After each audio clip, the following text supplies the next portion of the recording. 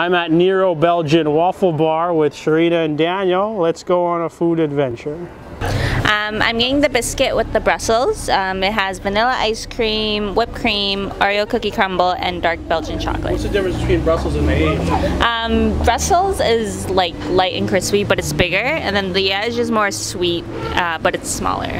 So I like to get the Brussels. I'm gonna get heaven, What's that? uh, fresh strawberries and real whipped cream, and the type is gonna be Brussels, light and crispy. I'm gonna get the Brazilian. It's vanilla ice cream, whipped cream, hazelnut crumble, and caramel sauce. It's Sherrina's favorite, uh, so I'm gonna try it out. What type?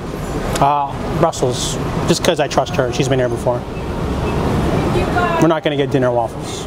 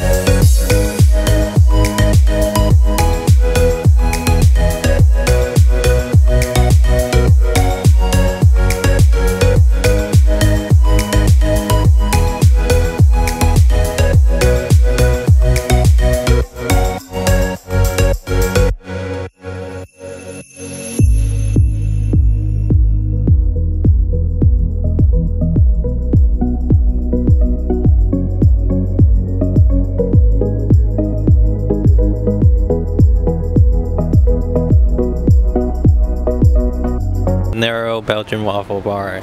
It was all right. I don't know, nothing special. It was good. Uh, I wouldn't go again. I would have to agree with Daniel.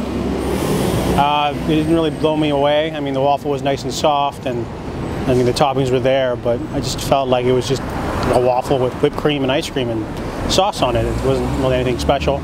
Didn't really dig the limited seating either. She kept hinting that we should sit outside. Their uh, second location has more seating though, so it's very tiny. I really like Nero. Their waffles are really good. I tried mostly every flavor, and I got the biscuit this time, and tastes the same as usual. It's really good.